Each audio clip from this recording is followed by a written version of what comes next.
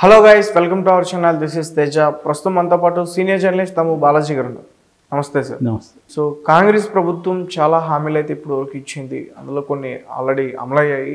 అయితే రీసెంట్గా ఒక కొత్త విషయం వెలుగులోకి వచ్చింది. రేషన్ కార్డు అంటే ముఖ్యంగా పాతవన్నీ తీసేస్తున్నారు కొత్తవి ఇస్తున్నారు. సో మరి దీనివల్ల కొత్త రేషన్ కార్డులు వస్తే మరి పథకాలన్నీ అందరికీ చేరే చేరుతాయా? మధ్యలో సగం మందికి ఆగిపోతాయా? సో దాని గురించి. యా యాక్చువల్గా ఏంటంటే బీఆర్ఎస్ ప్రభుత్వం రేషన్ కార్డ్ జోలికి వెళ్ళలేదు కొత్తవి ఇవ్వలేదు అవి అలాగే పెండింగ్ పెట్టేసుకుంటా వచ్చారు. ఎందుకంటే వాళ్ళకి తెలుసు రేషన్ కార్డ్ జోలికి పోతే అనేక సమస్యలు వస్తాయని. ఎందుకంటే రేషన్ కార్డ్తో లింక్ అప్ అయ్యి మిగతా పథకాలు ఉంటాయి. రైతు బంధు కావచ్చు దళిత బంధు కావచ్చు ఇండ్లు కావచ్చు ఇవన్నీ కూడా దాని మీద బేస్ అయి ఉంటాయి. అందుకని బీఆర్ఎస్ వాళ్ళు తెలివిగా ఏం చేశారంటే ఆ జోలికి వెళ్ళలేదు. యాక్చువల్గా తెలంగాణలో మూడు కోట్ల ఎనభై ఐదు లక్షల పాపులేషన్ ఉన్నట్టు చెప్తున్నారు అందులో రెండు కోట్ల ఎనభై ఐదు లక్షలు అంటే దాదాపు కోటి మంది మాత్రమే అప్లై చేయలే. రెండు కోట్ల ఎనభై ఐదు లక్షల మంది అప్లై చేశారు రేషన్ కార్డు కోసం. అయితే ఇప్పుడు వరకు ఇచ్చుండే రేషన్ కార్డులు తొమ్మిది తొంభై లక్షలు మాత్రమే ఉన్నాయి. అయితే ఈ తొంభై లక్షల్లో కార్డు తీసుకున్న తర్వాత కొంతమంది అనర్హులు ఈ పదేళ్ళలో అనర్హులు అయ్యే అవకాశం ఉంది. ఎందుకంటే ఆ కార్డు తీసుకున్న తర్వాత వాళ్ళకి వ్యాపారం ఏదన్నా చేసుకుండొచ్చు ఉద్యోగం రావచ్చు ఉండొచ్చు ఇల్లు కట్టుకుండొచ్చు ఇలాంటివి ఏవి జరిగినా కూడా వాళ్ళు అనర్హులు అనమాట ఇప్పుడు దానివల్ల అదొకటి. రెండవది కొత్తగా ఒక ఫ్యామిలీలో పెళ్ళి చేసుకుని ఉంటారు. ఆ పెళ్ళి చేసుకున్న వాళ్ళకి కొత్త రేషన్ కార్డు ఇవ్వాలి. కానీ ఇవ్వలేదు. దానివల్ల రేషన్ కార్డు వల్ల వచ్చే బెనిఫిట్స్ వాళ్ళకి అందట్లేదు. ఇటువంటి అనేక సమస్యలు ఉన్నాయి ఇప్పుడు ఏంటంటే కొత్తగా కాంగ్రెస్ ప్రభుత్వం అధికారంలోకి రాకముందు అనేక హామీలు ఇచ్చుకుంటూ వచ్చారు. రేవంత్ రెడ్డి కూడా అనేక సభల్లో హామీలు ఇచ్చుకుంటూ వచ్చాడు. అదేంటంటే వాళ్ళు గెలిపే ప్రధానంగా ఇచ్చారు తప్ప అనేక పథకాలు హామీలు యాక్చువల్గా ఆర్ ఆర్థిక పరిస్థితి ఎలా ఉంది? ఈ ఆర్థిక పరిస్థితిలో మనం హామీలు నెరవేర్చగలమా అనేది ఇవాళ ఏ రాజకీయ పార్టీ కూడా ఆలోచించి హామీలు ఇవ్వట్లేదు. ఏ హామీ ఇస్తే గెలుస్తాము అనేది ఇచ్చేస్తున్నారు అందరూ అన్ని రకాల పార్టీలు. ఇచ్చేసినాక అధికారంలోకి వచ్చినాక వాళ్ళకి తలనొప్పులు స్టార్ట్ అవుతాయి. తలనొప్పులు స్టార్ట్ అయినప్పుడు వాళ్ళు ఏం చేస్తారు? ఏ ఆర్థిక పథకాన్ని ఎలా కట్ చేసేయాలి? ఎలా తగ్గించేయాలి? ఎలా ఎగ్గొట్టాలి అనేది ఆలోచిస్తారు. సో ఇది ప్రతి రాజకీయ పార్టీ కూడా చేస్తుంది. గతంలో ఉన్న బీఆర్ఎస్ కూడా అనేక హామీలని ఇచ్చింది ఎలక్షన్లో నెరవేర్చలేదు. రైతులకు మూడు ఎకరా సారీ మన దళిత రైతులకు మూడు ఎకరాల ల్యాండ్ ఇస్తామని చెప్పింది దళితులకి నిరుద్యోగ భృతి ఇస్తామని చెప్పింది డబుల్ బెడ్రూమ్ ఇల్లు ఇస్తామని చెప్పింది జాబ్ క్యాలెండర్ ప్రకటించి జాబ్స్ ఇస్తామని చెప్పింది.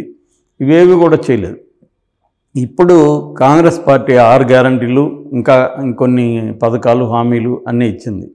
ఈ రెండు మాత్రం ఇప్పుడు అమలు స్టార్ట్ చేశారు. ఒకటి ఆర్టీసీది ఆర్టీసీలో మహిళలకు ఫ్రీగా.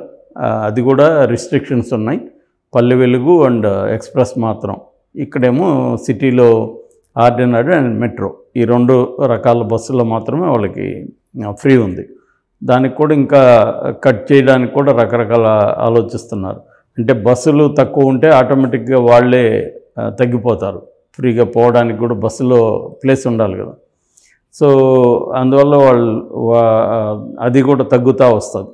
ఏదేమైనా దానికి పెద్ద డబ్బులు కూడా ఖర్చు అవ్వదు సంవత్సరానికి ఒక రెండు వేల ఐదు వందల కోట్ల కంటే ఎక్కువ అవ్వదని చెబుతున్నారు.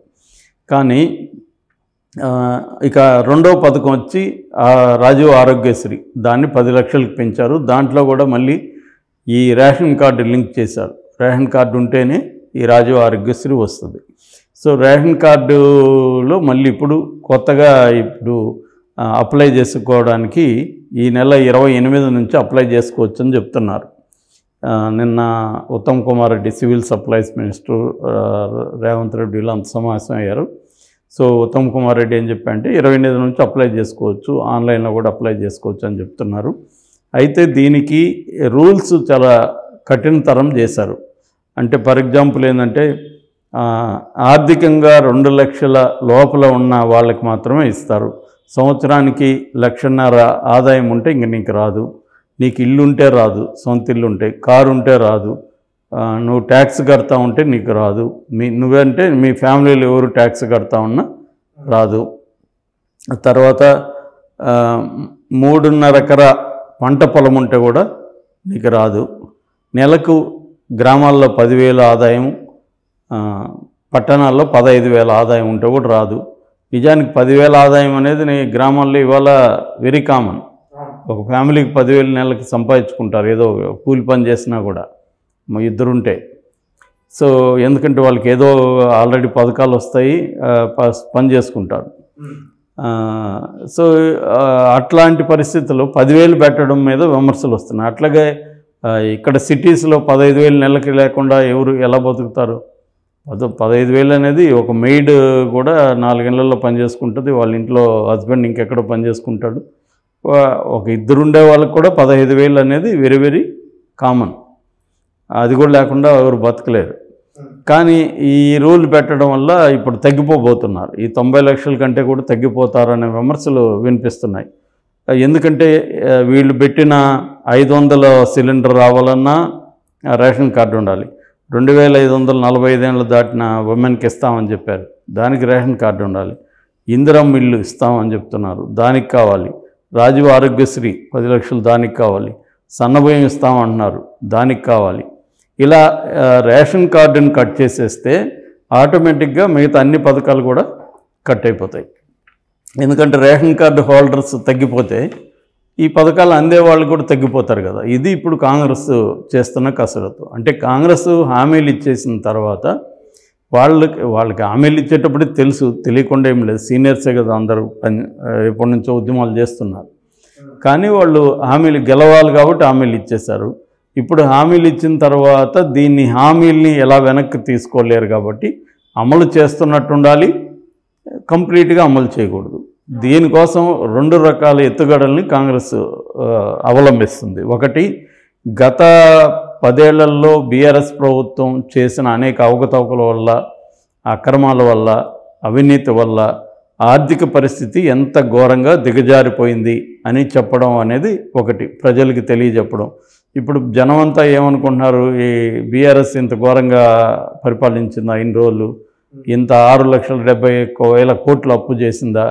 డెబ్బై రెండు వేల కోట్ల అప్పు అప్పు ఉంటే బిగినింగ్లో ఇప్పుడు ఆరు లక్షల డెబ్బై వేల కోట్లు డెబ్బై ఒక్క కోటి డెబ్బై ఒక్క వేల కోట్లు అప్పు ఏర్పడిందనే చెప్తున్నారు ఇప్పుడు శ్వేతపత్రం కూడా రిలీజ్ చేశాడు. ఒక్కో సెక్టర్లో ఎంతెంత తప్పు ఉంది ఏమేమి చేశారని చెప్తున్నారు.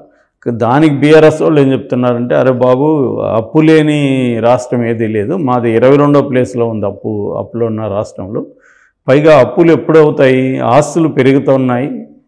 పెరుగుతా పెరగడానికి వెల్ఫేర్ వెల్ఫేర్కి దీనికి అప్పులు అవుతాయి అదేమీ ఘోరం కాదు. మేము ఈ పదేళ్ళలో ఎన్ ఏ ఆస్తులు పెరిగాయో కూడా మీరు లెక్కలు చెప్పాలి. ఓన్లీ అప్పులు మాత్రమే చెప్తున్నారు. ఇప్పుడు ఒక ఇంట్లో ఆ, ఆస్తుల అప్పులు రెండు కదా చెప్తాం మనం. ఒక ఇల్లు గురించి చెప్పాలనుకున్నా ఒక మనిషి గురించి చెప్పాలనుకున్నా ఆదాయ ఆదాయం ఎంత ఎంత వస్తుంది అప్పులు ఎన్ని ఉన్నాయి? ఆస్తులు ఎన్ని ఉన్నాయి? నిక దాంట్లో చరాస్తులు స్థిరాస్తులు అన్నీ కదా చెప్తారు. మీరేమో ఓన్లీ అప్పులు మాత్రమే ప్రొజెక్ట్ చేసి మమ్మల్ని బ్యా బదనాం చేయాలని ట్రై చేస్తున్నారు. మీరు పథకాలను అమలు చేయలేరు కాబట్టి మా మీద నెపం చేసి తోసేసి తప్పించుకుందాం అనేది చేస్తున్నారని అసెంబ్లీలో బీఆర్ఎస్ కూడా గట్టిగా ఆర్గ్యూ చేసింది. అందులో కొంత వాస్తవం కూడా ఉంది. ఎందుకంటే ఏ దే ఏ రాష్ట్రంకైనా అప్పులు లేని రాష్ట్రం ఏది లేదు. ఉండదు. ఎందుకంటే అనేక వెల్ఫేర్ స్కీములు పెట్టాలి ఉద్యోగులకు జీతాలు ఇవ్వాలి గవర్నమెంట్ రన్ చేయాలి. రెవెన్యూ అనేది లిమిటెడ్గా ఉంటుంది. ఈ రెవెన్యూలో కూడా సెంట్రల్ గవర్నమెంట్ వాటా పోతుంది. మళ్ళీ సెంట్రల్ గవర్నమెంట్ స్టేట్కి ఇచ్చే ఫండ్లని తన పార్టీ కాని స్టేట్లు ఉంటాయి కదా అధికారంలో లేని వేరే పార్టీలు కాంగ్రెస్ కావచ్చు లేకపోతే రీజనల్ పార్టీలు అధికారంలో ఉన్న స్టేట్లకి అంతగా ఫ్రీగా ఇవ్వట్లేదు. మామూలుగా అయితే రూల్ ప్రకారం వాళ్ళు ఇవ్వాలి. Hmm. కానీ దాన్ని కూడా పెండింగ్లు పెట్టడం ఏదో ఒక క్వరీ పెట్టడం ఇలాగ డ్రాగాన్ చేసుకుంటూ వెళ్తున్నారు. సో అందువల్ల అప్పులు లేని ఏది రాష్ట్రం లేదనేది బీఆర్ఎస్ ఆర్గ్యుమెంట్. అందు అది కరెక్టే. కాకపోతే ఎక్కడెక్కడ వేస్టేజ్ జరిగింది ఎక్కడెక్కడ అక్రమాలు జరిగింది అనేది కూడా వెలికి తీయడం కూడా అవసరం. అది ఇప్పుడు కాంగ్రెస్ చేస్తుంది. అంటే ఒక పక్క బీఆర్ఎస్ ప్రభుత్వంలో జరిగిన మొత్తం అవినీతి కావచ్చు దేనైనా బయటికి తీసి రాష్ట్ర ఆర్థిక పరిస్థితి ఘోరంగా ఉంది అప్పులు ఎక్కువ ఉన్నాయి అని చెప్పడం. చెప్పడం ద్వారా ఏమవుతుందంటే మేము మా పథకాలు అమలు చేయాలని చిత్తశుద్ధితో ఉన్నాము కానీ డబ్బు లేదు. కాబట్టి మేము మీరు అర్థం చేసుకోండి మేము హామీ ఇచ్చినవన్నీ కూడా చేయలేకపోతున్నాం అనే సందేశం డైరెక్ట్గా చెప్పకుండా ఇండైరెక్ట్గా చెప్తున్నారు. సో ఈ రేషన్ కార్డు అనేది ప్రధానంగా రేపొద్దున పెద్ద హెడ్ఏక్ అయితే అవుతుంది. ఎందుకంటే బీఆర్ఎస్ వాళ్ళు ఇక్కడే గట్టిగా పట్టుకుంటారు. రేషన్ కార్డు అర్హులకంతా రేపొద్దున ధర్నాలు రాస్తారోకలు స్టార్ట్ అవుతాయి. అంటే ఫస్ట్ తలనొప్పి కాంగ్రెస్ పార్టీకి రేషన్ కార్డుల దగ్గర స్టార్ట్ అవుతుంది తెలంగాణలో. అందు అది కరెక్టే కాకపోతే ఎక్కడెక్కడ వేస్టేజ్ జరిగింది ఎక్కడెక్కడ అక్రమాలు జరిగింది అనేది కూడా వెలికి తీయడం కూడా అవసరం. అది ఇప్పుడు కాంగ్రెస్ చేస్తుంది. అంటే ఒక పక్క బీఆర్ఎస్ లో జరిగిన మొత్తం అవినీతి కావచ్చు దేనైనా బయటికి తీసి రాష్ట్ర ఆర్థిక పరిస్థితి ఘోరంగా ఉంది అప్పులు ఎక్కువ ఉన్నాయి అని చెప్పడం. చెప్పడం ద్వారా ఏమవుతుందంటే మేము మా పథకాలు అమలు చేయాలని చిత్తశుద్ధితో ఉన్నాము కానీ డబ్బు లేదు.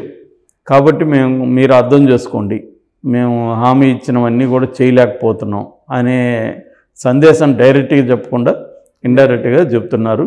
సో ఈ రేషన్ కార్డు అనేది ప్రధానంగా రేపొద్దున పెద్ద హెడ్ఏక్ అయితే అవుతుంది. ఎందుకంటే బీఆర్ఎస్ వాళ్ళు ఇక్కడే గట్టిగా పట్టుకుంటారు. రేషన్ కార్డు అర్హులకంతా రేపొద్దున ధర్నాలు రాస్తరకులు స్టార్ట్ అవుతాయి. అంటే ఫస్ట్ తలనొప్పి కాంగ్రెస్ పార్టీకి రేషన్ కార్డుల దగ్గర స్టార్ట్ అవుతుంది తెలంగాణలో. Okay sir. Thank you so much.